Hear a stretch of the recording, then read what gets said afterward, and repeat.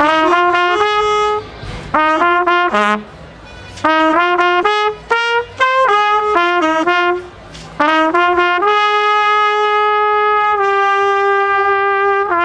on Jazz Street at the Xerox Hospitality Tent, and please state your name for the record. Abby Grimaudo.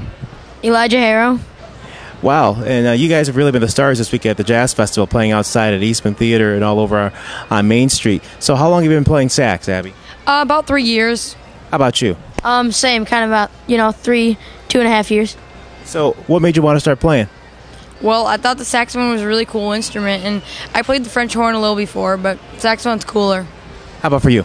Um, well, my dad played the trumpet and he- he played jazz, and then I kind of wanted to get into it because, you know, I like brass, so yeah, that's what made me want to start. What are some of your favorite tunes to play? Uh, Doxy, Bemsha Swing, Coming Home Baby.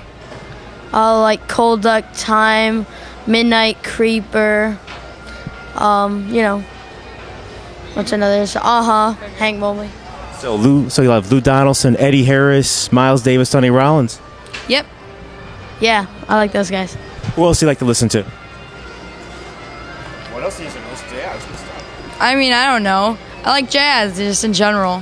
How about you, man? Uh, I like Wynton Marsalis, and then like you know, cooler kind of jazz with like Allen Vizzutti jazz stuff. He's good, yeah. And now let's talk to your dad, Steve Harrow. Steve, this is pretty amazing stuff. So, why is it so important to get kids involved with music so early? The great thing about music is it captures the attention of the whole person at the same time. And what I mean by the whole person is your intellect, your emotion, uh, your aesthetics, which is your sense of beauty, your physical capabilities. And if you take it as far, you can even talk about the spiritual. If you, you know, we play a worship band together in church, so the whole it's a whole person activity. So it it allows every part of you to express itself at once. I think it's a pretty amazing thing. So I think it's a really healthy thing for kids to do. There it is. So, again, as a plug for playing jazz, start them young, right? Oh yeah, because uh, you have to get acclimated towards the concept. You have to have it in your head, and then uh, it can be manifested when you study the theory, and you kind of put it all together through the years with while you're when you're practicing. Yeah. Now, I've noticed that they, they play a lot of the great Blue Note classics, the blues stuff. Is that on? Is that by design? Is that on purpose?